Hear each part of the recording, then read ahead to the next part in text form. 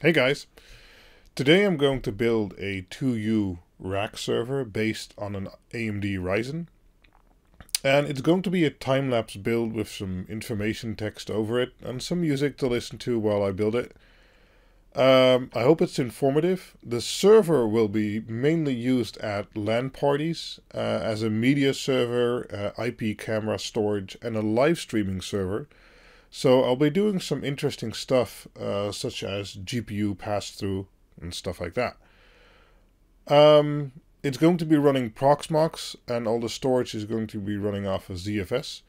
But I'm not going into too much detail about that right now. This video is mainly about the build.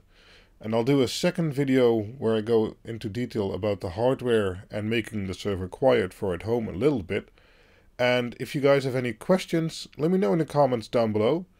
And uh, let's get to the time lapse.